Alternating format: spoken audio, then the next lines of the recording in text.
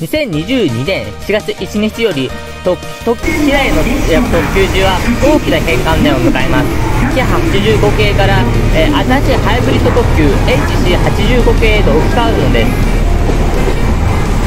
キハ HC85 系によって新しく快適な旅が始まるでしょう。しかしキハ85系の旅っていうのは大変快適で、えー、そのなかなかそのキハ85系の旅っていうのを惜しむべく私は今回富山までキハ85系に乗ってまいります。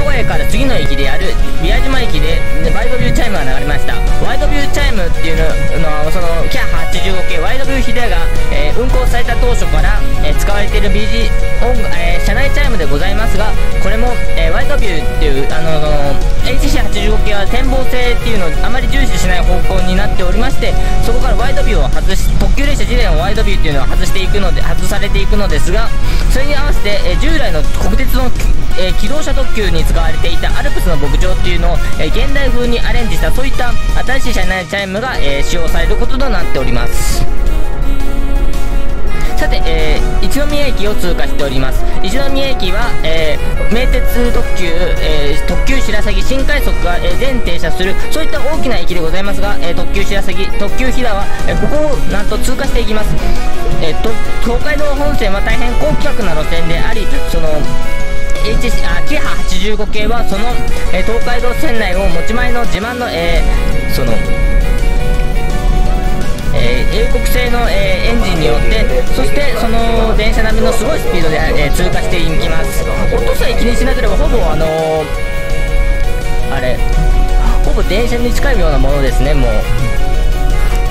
家族性能が、うん、さて、え岐阜駅からは、えこう岐阜駅からは東海道本線から高山線に分岐。そして高山線の,、えその岐阜駅構内での構造上、えスイッチバックをし、え方向転換。そこから一気に、あのー、今までと逆の方向で、え、私の乗っている、え、グリーン先頭グリーン車が、え先頭車となります。そしてここから一気に飛騨そして、え富山へと向かってまいります、えこうした背景にあるのはその元もともとその高山本線を建設する際、えー、その岐阜県内岐阜同じ岐阜県同士の、えー、接続性っていうのを重視した上でその岐阜市県と岐阜市県庁所在である岐阜市とその、え、高山市を結ぶようなそのそういう線形にしたからです。一応その小牧線を通るっていうその計画もありました。小牧方面を名古屋の北を通るというルートもありましたが、えー、現状としてこのようなルートになりました。自由席は前より9号車と一番後ろ1号車ですの他の車両は全て指定席です先頭車両10号車と2号車の1番から8番はグリーン車です7両で運転しておりますが途中高山駅で最寄りの4号車から1号車切り離します1号車10席途中高山止まりです10号車から8号車の3両が終点さて、えー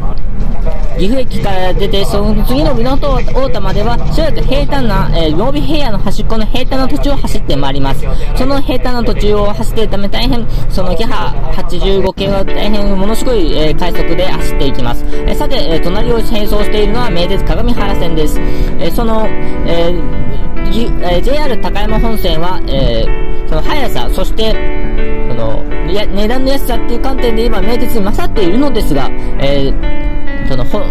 単線であるっていうこともあり、本数の上では名実鏡原線が優位に立っており、大変、その、競争としては大変拮抗状態に、ま、あります。さて、えー、うぬま駅を通過します。うぬま駅の橋、えー、対岸、その長良川の対岸上にあるのが、えー、その、犬山市、犬山市、犬山市であり、その、敵波85系からは、その、犬山城を見ることができ、それをアナウンス、それを案内するアナウンスが、えー、前でその、うぬま駅の近辺を通過する直前で、えー、流されたりします。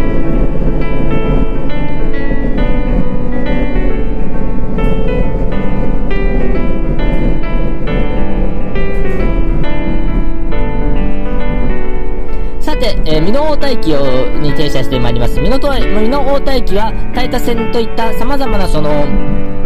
え、路線が接続しており、その関係から、えー、美濃太田車両区っていうのが併設されております。また、その美濃太田車両区として特徴的なのは、スタコレクションと言われる、その JR 東海が、その、現在は使わなくなった古い車両っていうのを、まあ、その車両基地の端っこに置いております。さて、その、大田線を、いや、美濃太田を過ぎていくと、どんどんその、ひだ、ひだの奥の方へ、奥のひだの高山の方、奥の方へ参ります。このように綺麗な青、ま、青緑色の、サファイア色の川が、えー、見ることができます。本当にその、名古屋に住んでるとこんな川を見ることはないだろうっていう自然の美しさっていうのを本当にその青サファイア色の川からこうやって見ることができますねさてそのだんだんとその第一の目的地であるその富山、えー、高山の方へと参ります。高山では高山からは、えー、そのほとんどの列車が、えー、高山を大体その本数の半分程度が高山止まりになっておりまたその富山駅の列車も、えー、その高山に着くとその半列車の半分を切り離してその半分はその富山に向かってまいります。富山県境を越えて JR 西日本に入りその富山の豊かなその大地を見ているとだんだんとそして、えー、富山駅についてまいります。富山駅は第三セクターが運営しておりその第三セクターの駅舎の片隅駅駅の片隅にその平郷をお邪魔させていただきます。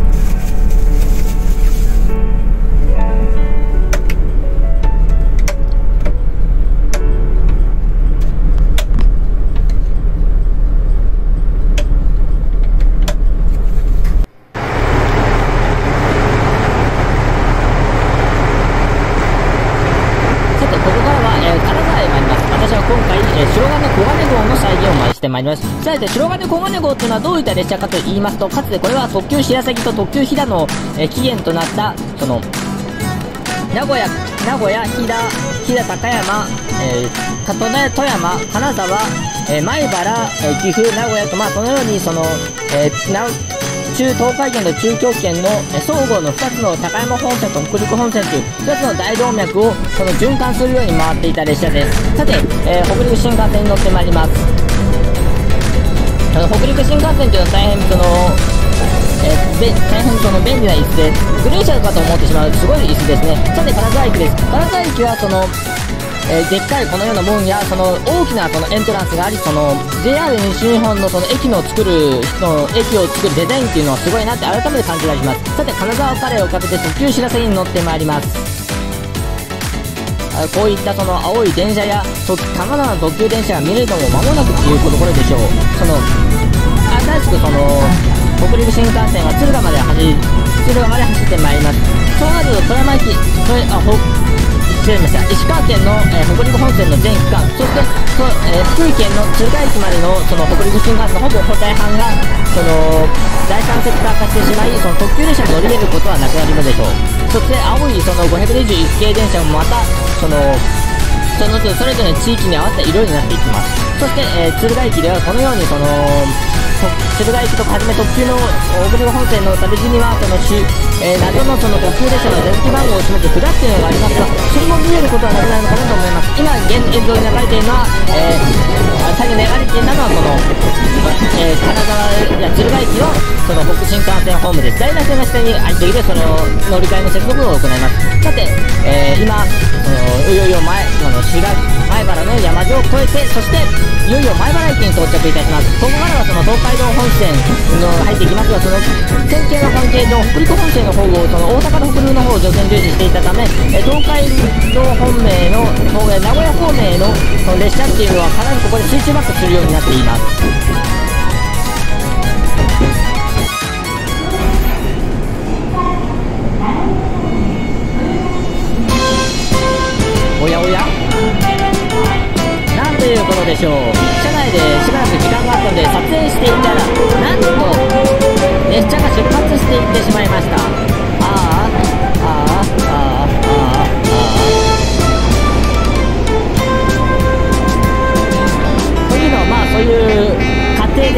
してここから、え、東海道新幹線に乗ってまいります。というのもその何でしょうその新幹一筆書きで切符を買おうとしました。その時にそのどうしてもその岐阜と名古屋が重複してしまうのでこうやって新幹線に乗るしかないんですよね。さてその前原を出てしばらく一気にもう岐阜羽島と通過していって気づけばもう大都会名古屋、えー、380系ワイドビュー。こちらもワイドビューですね。ワイドビュー380系の国はどうなるでしょうか。さて HC85 系に全て置き換わった後も特急ひだはしばらく大阪や都内に乗り入れる予定です。しかしそれは特急白崎の車両通行量を相殺するためであり、今後北陸新幹線が伸びるに従って北陸特急白崎の意義が失われていく可能性が高いので、今後どうなるかわかりません。